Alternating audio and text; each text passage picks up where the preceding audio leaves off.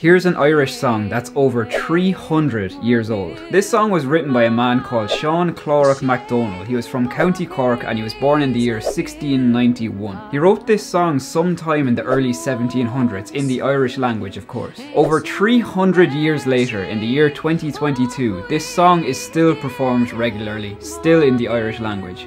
This song is called Moyilla Mar.